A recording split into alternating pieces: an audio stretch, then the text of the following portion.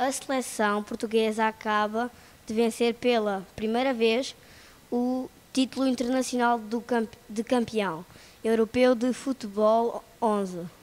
Uma notícia de última hora que está a causar festejos por toda a Europa. O, o gol de Éder deu aos portugueses a vitória em território francês, onde se vive um momento de grande alegria entre os adeptos da seleção e os campeões europeus. A equipa será recebida amanhã na Alemanha, em Lisboa, para celebrar o triunfo com os portugueses. Por agora, continuamos a acompanhar a festa aqui em direto de Paris.